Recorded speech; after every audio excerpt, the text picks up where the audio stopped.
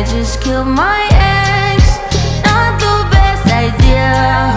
Killed his girlfriend next. Now I get here? I just killed my ex.